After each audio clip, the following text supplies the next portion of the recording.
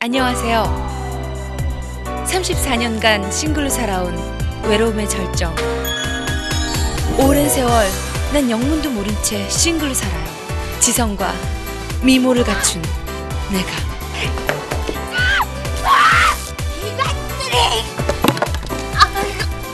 우리 통하는 게 너무 많네요. 날 놓친 걸 피토하면서 후회하겠지. 진짜 괜찮은 남자 만날 거야.